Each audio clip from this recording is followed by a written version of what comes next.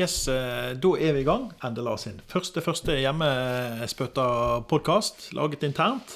Og ja, Absolutt. Jeg var jo så heldig jeg fikk oppdrag og tenkte hvem, hvem kan jeg ha som gjest? Ja. Og eh, Hvem er nesten umulig å få tak på? ja hvem, Alltid opptatt. Hvis jeg liksom tenker åh, det hadde vært gøy. Ja. Oi, oi, oi. Det har jeg drømt om lenge. Ja, Du har jo mange på lista, men ingen av de kunne. Nei, ingen- nei, nei. Det vet han Knutsen. Skal vi se her. Piker vi begge to, vet du. Oi, oi, oi. Ja, ja.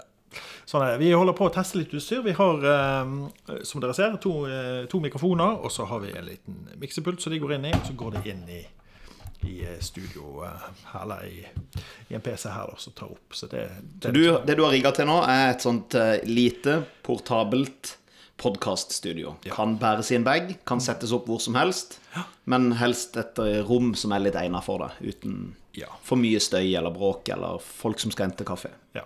Og vi har jo to, eh, og det som er fint, sånn som den mikrofonen som Tom sitter på nå, er egentlig en scenemikrofon.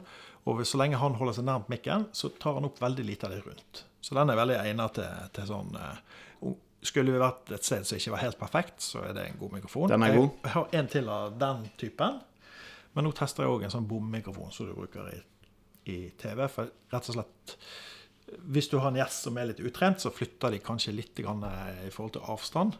Og den er litt mindre Er min mer retningsstyrt? Den er mer retningsstyrt, sånn at hvis jeg flytter meg sånn, så, så kan det være problematisk. Men i forhold til avstand til mikrofonen, Ja. så er denne mer tilgivende enn ja. den da. For du sa på sånne mikrofonoppsett som dette, så er sånn en, en huskeregel, grei huskeregel er en, en knyttneve ifra. Da er det Da er det greit. Da er du safe. Da er du safe. Ja.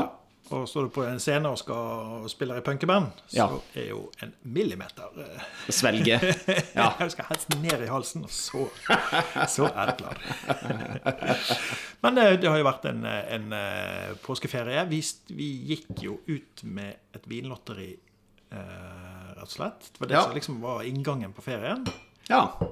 Det var hyggelig. Ja, Tom, Tom la jo igjen all vinen hos meg, så det jo det ble ekstra hyggelig. Så jeg skylder han et par flasker vin, faktisk. Det skal vi ordne opp i det? Skal vi slåss om noe etterpå? ja, jeg fikk surprise visit på søndag, så da Oi, oi, oi. Oi, Hadde jeg bare hatt ei kasse vin ekstra stående. Ja, det var det jeg hadde, så det var, det var jo Det var synd. Ja, ja, ja. Men det var sikkert mye. Da koste dere dere med mye god vin. Ja. Ja. ja vært en veldig Ja, rett og slett en, en, en fin påskesønn. Masse fridager, god mat. Ja. Det håper vi jo alle andre har hatt òg, og at de har fått vært på polet og fått tilsendt vinen som vi sendte av gårde. Ja, da hadde det vært mye, mange stengte dager, så, men, men det er klart de hadde jo noen dager å rekke det på, de fleste. Jeg vet ikke hvor lang tid du har på det, egentlig, men eh, Nei. Det, det som ligger inne på polet, kan du gå og hente samme dag som du får eh, så, Som vi stilte det. Men det var vel noen Noen steder hadde de ikke de, de da, da må det sendes. Vi begynner å komme inn i det. Det gikk jo veldig greit nå. Ja. Litt færre flasker som gikk til Arendal. Kun Bjarne Stakkar som måtte til Arendal og hente. Det var en sånn feil som vi eh, gjør hvis når vi må legge inn ganske mye for å sende av gårde. Ja. Inkludert nærmeste pol. Og det er fort gjort å glemme når du har gjort det noen ganger. Og da, av en eller annen grunn, så er mitt standardpol Arendal. Ja, men du er Kristiansand, da. Jo, men hvor, Hvor er det verste stedet i ja, Worst det- case scenario? Ja.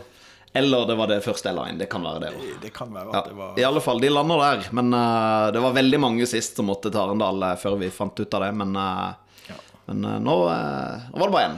Ja. Så nei, det var kjekt. Vi skal kanskje ha et lotteri igjen, om det blir et før ferien eh, til sommeren, eller om det blir en sånn O store nå eh, vi starter nytt lotteri Eller begge deler, det, vet, det vites ikke. Nei, det, det er litt sånn standup der. der. Ja. Yes, men Da har jeg en lydfil her, Tom. Ja. Så skal vi synke den med bildet, og så skal vi se om det funker bra. Ja.